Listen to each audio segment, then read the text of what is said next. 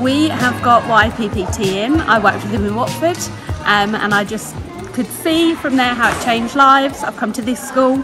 Uh, it's an incredibly deprived area and I just knew this is exactly what the kids needed and it was. It's been absolutely phenomenal, you know, what the children have been doing and working on since September. It's incredible and the, the difference in some of the children in their engagement with this, you know, compared to some of the other curriculum areas is just, it's just incredible, absolutely amazing. They got into the story, they did some designs and character descriptions and things like that. Then they made their puppets then they made all the props and the scenery, and then there's been learning how to use the puppets and get into character and put on a performance.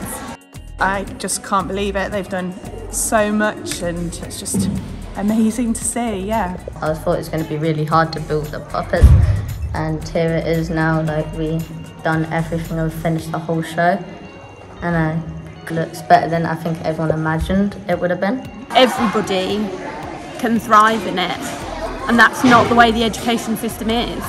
Lots of these children have never been proud of anything and they are so proud of this. It means probably more to them than anything else has in their school education and uh, it's magic, it's just magic. I think it's really amazing and I'll never forget it.